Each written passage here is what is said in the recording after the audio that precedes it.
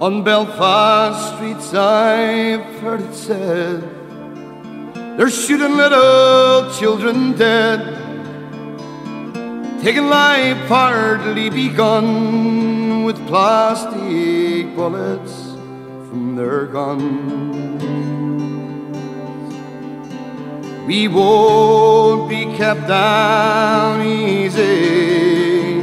We will not be still we won't be kept down easy. Run, maim, and kill.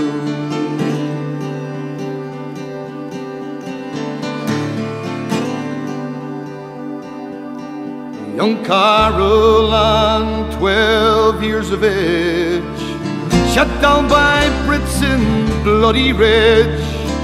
We Julie Livingstone as well, fell their plastic hands. And we won't be kept down easy. We will not be still. We won't be kept down easy. Broad maim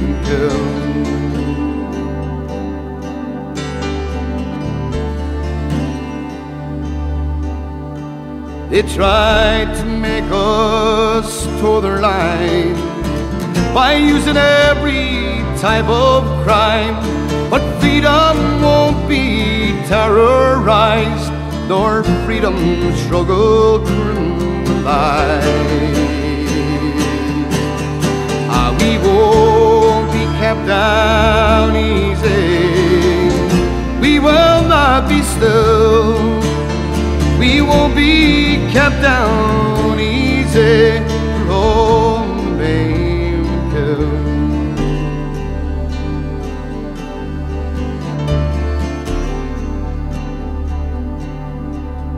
They tried to drag us from our streets by taking life so young and sweet.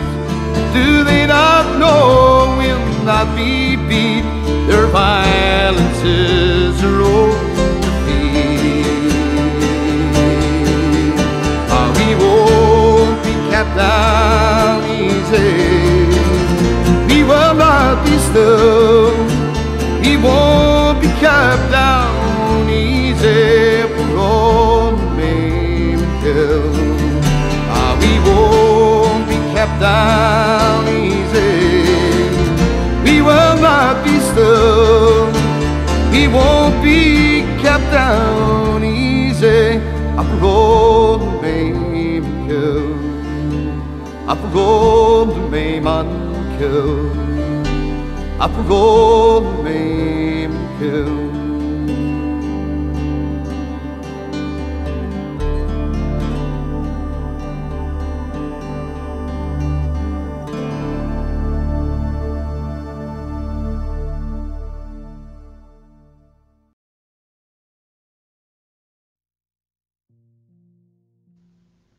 In 1967, the police in Hong Kong, a British colony, developed a method of striking demonstrators with a wooden baton round. It was made of teak, weighted with a metal core, and fired from a gun. It could cause serious injuries, both from impact and splintering. However, despite this and the killing of a girl, they were regarded as a success by the British authorities. The next year, 1968, on October the 5th, a civil rights march was viciously attacked by the RUC, the Royal Ulster Constabulary, in Derry City. The civil rights demonstrators were calling for one man, one vote, and equality of employment and housing, which were denied to the Catholic nationalist community by the Loyalist government of Northern Ireland. The television cameras were there, and for the first time relayed to a startled and amazed worldwide audience an exposition of the blatant sectarianism of the Stormont government and its agents, the RUC. The campaign intensified. On the 1st of January the following year, a small group of students, members of the Civil Rights Association, left Belfast to march to Derry. At Burntollet Bridge, they were attacked by a group of B Specials, the Loyalist Police Reserve, who were organised but felt it necessary not to wear their uniforms. The RUC stood by. When the march eventually reached Derry, they were again attacked by Loyalists and the RUC. The Bogside area of the city threw up barricades. They resisted the police baton charges, water cannon attacks, and a bombardment of CS gas. The Battle of the Bogside lasted a week, and the world watched.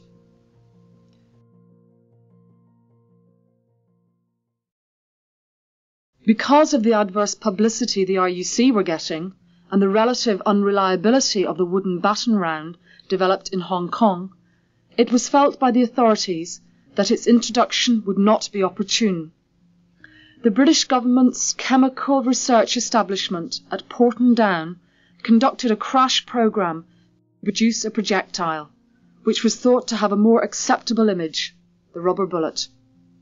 It was six inches long, one and a half inches in diameter, and weighed five ounces. It was first introduced in the New Lodge area of Belfast in August 1970. The nationalist demands for reform did not slacken, and their nationalist aspirations grew. This severely threatened the stability of the Stormont government. Prime Minister Faulkner sought and received military support from the British government to introduce internment. On the 9th of August 1971, hundreds of nationalists were rounded up and imprisoned without trial. Internment was to last for the next four years. The 9th of August was to be remembered by the nationalist population. Raids by the British Army became commonplace as the numbers of those imprisoned rose from hundreds to thousands. Emma Groves, a resident of Andersonstown in Belfast, tells of such a raid.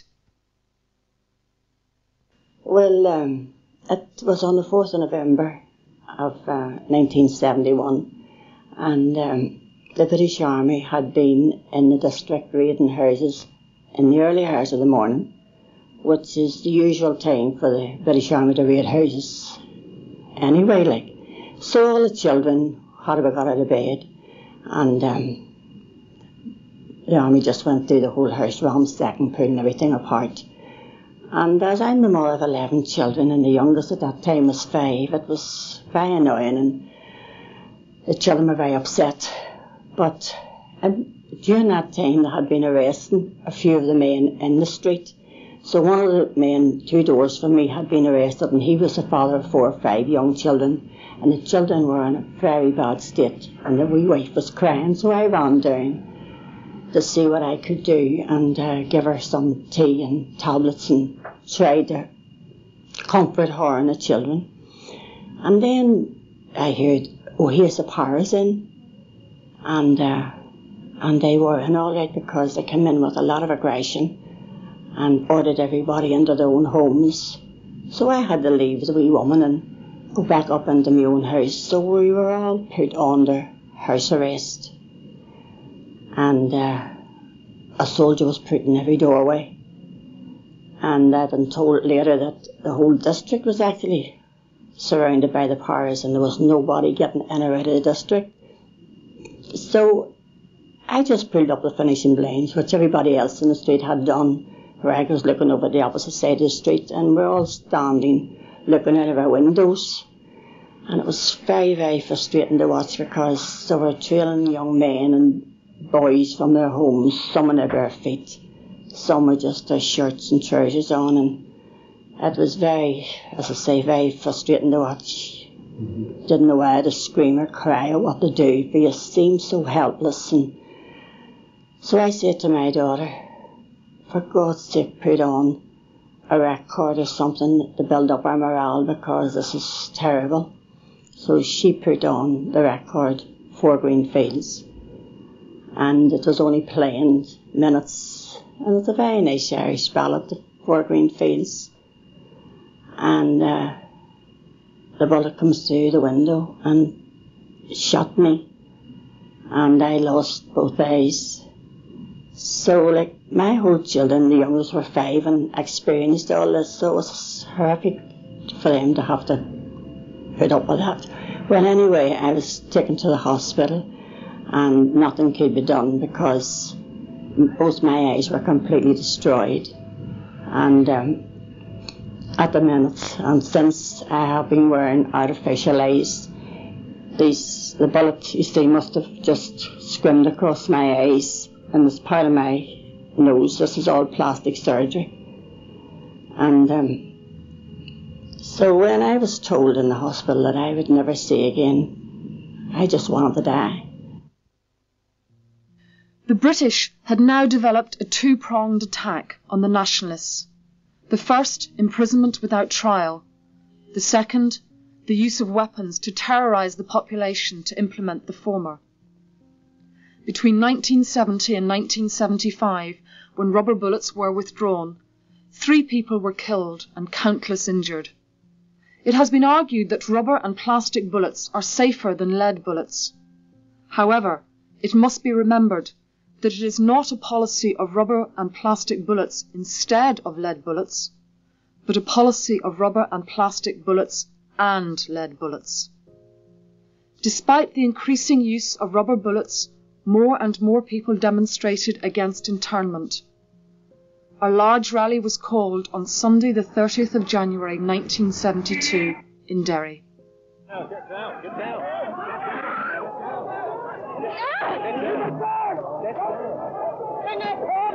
14 innocent people were killed by lead bullets. A study carried out by four surgeons from the Royal Victoria Hospital in Belfast on rubber bullet victims was severely critical of their use. Three of the cases were of severe brain damage. One of these was Francis Rowntree, aged 11, who died on the 23rd of April 1972 after being struck on the head by a rubber bullet three days before at Divis Flats. It was fired by a soldier of the Royal Anglian Regiment from inside a Saracen armoured vehicle. Eyewitnesses said that the bullet had been doctored. It had been hacked in half, with a torch battery replacing the missing half. Well, when, when, whenever Frank was killed, it was 1972, and he was the first one killed with these rubber bullets. And at that time, nobody ever thought that they would kill, that, that anybody could be killed with them. They were only a deterrent for riot situations. But when when Frank was killed with it, uh, the doctors in the Royal Hospital and uh, a lot of people were concerned at the time, and they they said that the, damage that was done to him with this that they would maybe try and get them banned. But they've brought in these other ones, which is even more lethal. And the uh, Mr. Rutherford, uh, uh, the surgeon in the Royal, said that there was absolutely no chance of saving him, Frank, because the, the, his whole brain was damaged and his eyesight was he would have been blind if he had survived it. In the summer of 1972, the Belfast surgeons handed the report over to army surgeons.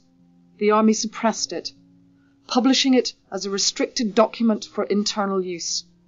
It was not until the Sunday Times published a leaked account of it in May 1973 that the surgeons were finally told they could publish without the risk of prosecution under the Official Secrets Act. Two more people were to die from rubber bullets. Tobias Molloy from Strabane was struck in the heart in the early hours of Sunday, the 16th of July, 1972, by a rubber bullet fired at point blank range by soldiers near a British Army checkpoint on the border. He was returning across the border from a dance in County Donegal. Some youths had been throwing stones at the soldiers, but Tobias's friends said that he had nothing to do with the trouble. Rubber bullets were fired during his funeral procession, injuring a woman and two youths. Thomas Friel, aged 21, was hit on the head at around midnight on the 17th of May 1973 by a rubber bullet fired by British soldiers. Thomas was on his way home to the Creggan Heights in Derry with his brother, who said that, although there had been rioting earlier, the area was quiet at the time of the shooting. Rubber bullets were eventually phased out and replaced by plastic bullets. Some observers have said that this was due to the public outcry and the publication of the surgeon's report. Others have said that rubber bullets were withdrawn because they were unstable in flight and therefore unpredictable, dangerous, and likely to hit and kill innocent bystanders. No doubt public outrage and bad publicity does affect the British government but the chief reason for the introduction of the plastic bullet was its accuracy, not because it was safer.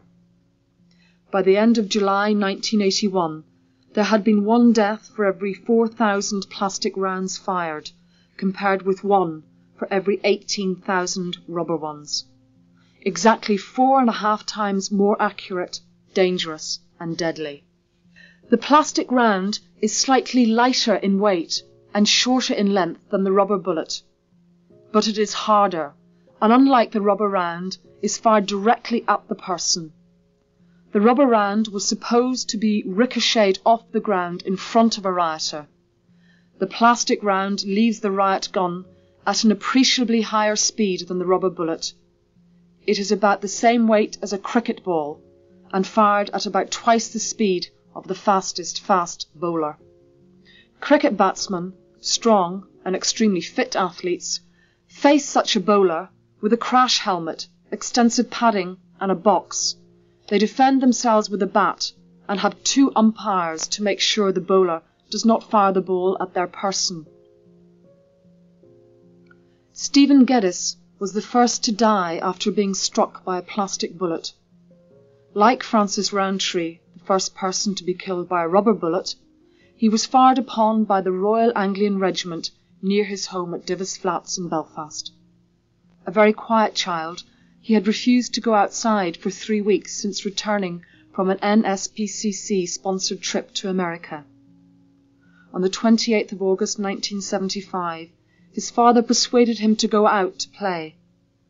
About 50 yards from where he was playing, an army patrol were attempting to remove two cushions which some boys had set fire to in the road. The boys stoned the soldiers, one of whom who gave chase and fired a plastic round. Stephen fell to the ground with a head wound.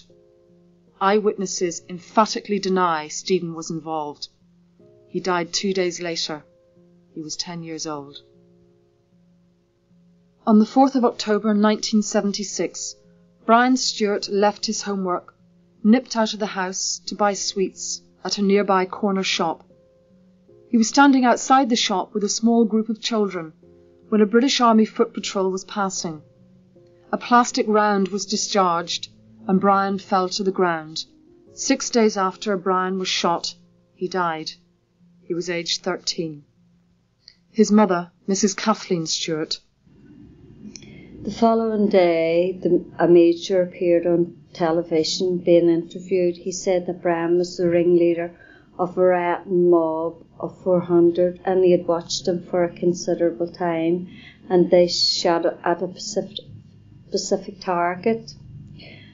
Uh, at the inquest, the same major that came out with the statement on television said that Brian was standing with a group of 15 youths and that Brian wasn't the target that the shot was aimed at, but a tall youth with the blue and white strip jumper, which contradicted the, the interview that went out over uh, the television. Uh, overnight, my family became terrorists.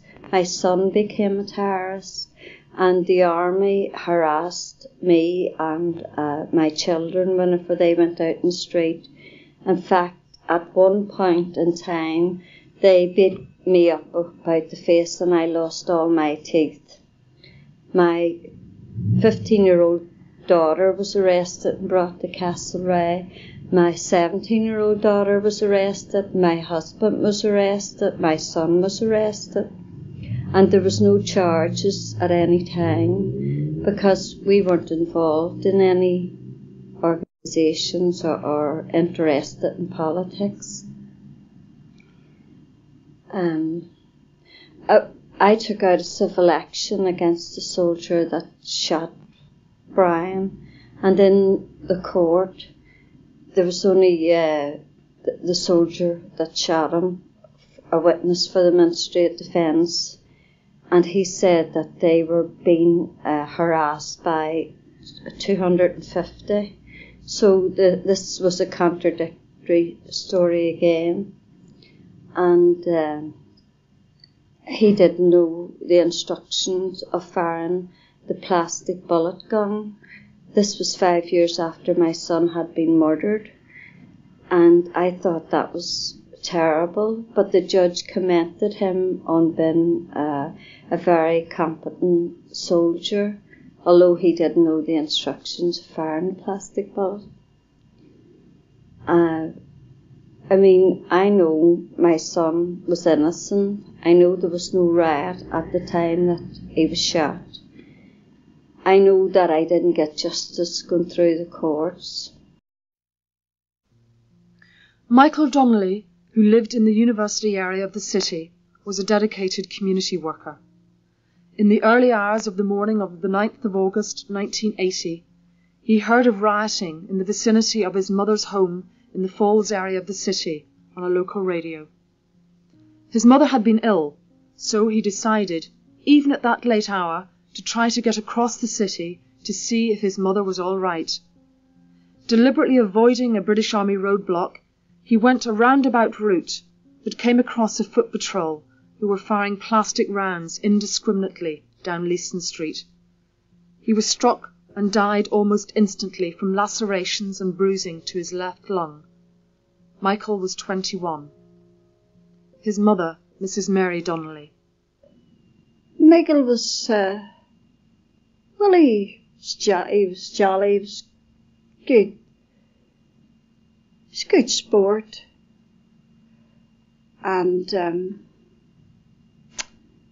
he done that helping with the welfare, you know, that welfare handicaps, teenagers and stuff like that. And at that particular time, was the, it was helping out with, you know, the battered ways, children. And he done a lot of work for them. And, um, they sort of way down and outs at that particular time. They had a place open for the, you know, the down and outs they worked through the night, give them dinner and stuff. I think it's closed down now. And, uh, no, going to different welfare centres and helping out there.